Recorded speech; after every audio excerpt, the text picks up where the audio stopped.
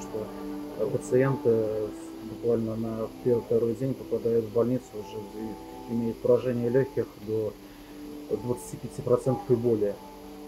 Такие, к сожалению, тяжелые случаи пошли.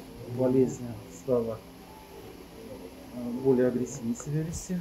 Страдают, начинают болеть молодые люди. 80-е годы, 90-е годы, что раньше ну, реже, по-моему, встречалось. Пошла цепная реакция. М, На работе сотрудница. Заболела, принесла. Началось все с резкой слабости, температурной качели от 37,2 до 38,9. Вот слабость, ужасное состояние духа, кислород не поступает. И когда запускаешь, ощущение такое, что ты сейчас умрешь, потому что ты не можешь дышать. К этому привыкнуть нельзя. Если ни- ничего не делать, ты просто умрешь. Сама пациентка очень сложная, и там ряд сопутствующих заболеваний, как сердечные, онкология, поэтому мне как бы очень тяжело все это пришлось. Заболела у меня семья 22 числа мама и муж.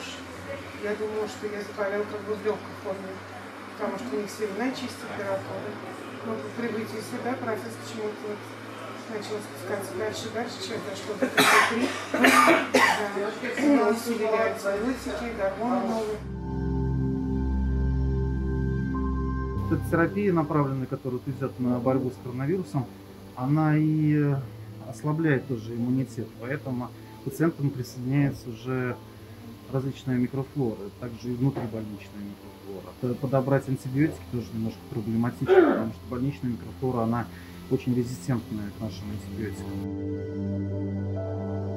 Сейчас, если так посмотреть, то тяжелые случаи во всех госпиталях есть. Во всех госпиталях, во всех реанимациях есть тяжелые пациенты. И поверьте, э, никому не легко.